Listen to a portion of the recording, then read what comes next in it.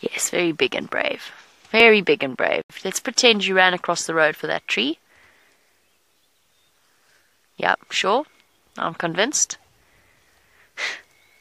That is called displacement behavior, and it means that our little male elephant is being full of nonsense. Very brave when mommy's next to you. I wonder if this is the same elephant that's been giving off. Oh, she just gave us a sideways look as if to say, "Don't mess with my, with my son."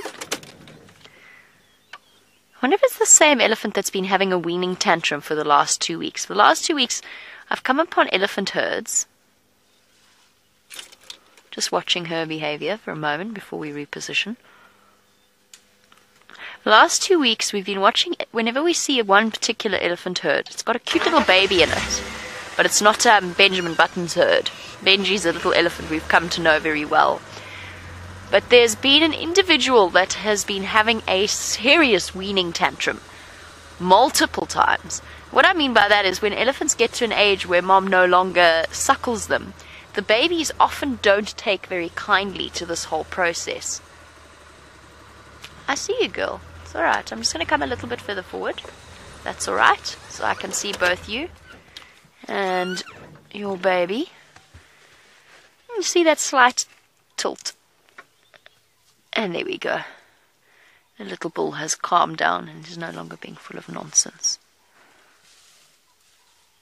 Hey, little one. Oh, yes, so baby elephants, when they are weaned, they don't take kindly to it, and what they do in response is they throw tantrums. Screaming, screeching tantrums. And most of the time, the squeals that you hear from elephants is actually the tantrums that they're having because their moms won't let them suckle and they sound as though they're being grievous they've been grievously injured or something when they do have these tantrums. There's much squealing and shouting.